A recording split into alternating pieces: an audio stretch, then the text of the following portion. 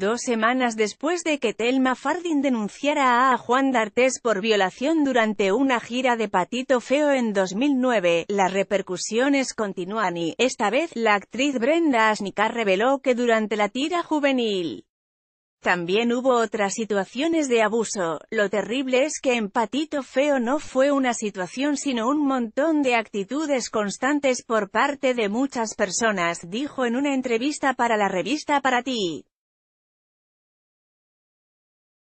Además, comentó que luego de la acusación de Fardin, el elenco de la novela se reencontró y creó un grupo de WhatsApp donde muchos compartieron sus experiencias. Si bien todos recordamos el programa con muchísimo cariño, hoy a lo lejos vemos todo muy diferente.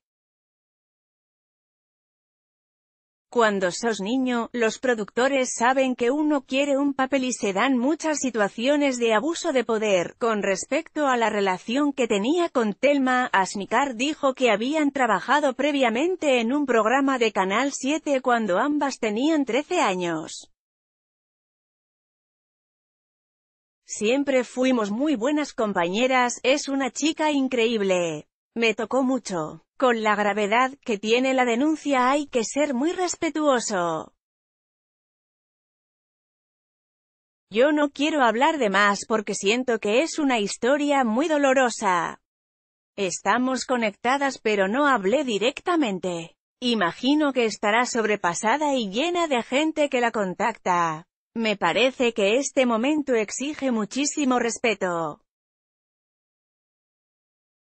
Lo que menos quisiera es ser invasiva, agregó, a raíz de sus dichos. En la nota fue consultada también sobre su anterior revelación en el ciclo Podemos Hablar, cuando contó que un compañero le dijo que quería tener relaciones sexuales con ella. Hubo un actor que me dijo que me quería desvirgar, mientras estábamos en el set.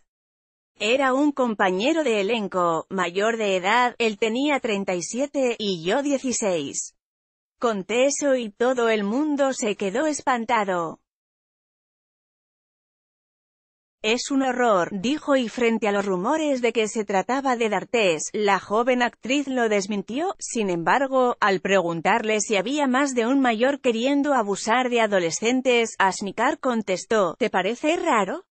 A mí me parece más extraño que la gente diga que es raro cuando mirando alrededor lo único que veo es gente aprendiendo a comportarse.